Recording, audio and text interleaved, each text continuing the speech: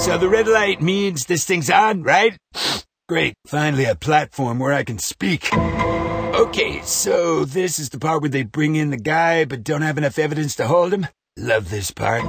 Look, I know things were bad last week with the fraud case in New York, extortion in Georgia, and the whole inciting insurrection thing. But it's all just a political witch hunt, believe me. They're trying to go after me for breaking the law. I mean, who hasn't lied to banks and the IRS, threatened election officials, and tried to destroy democracy?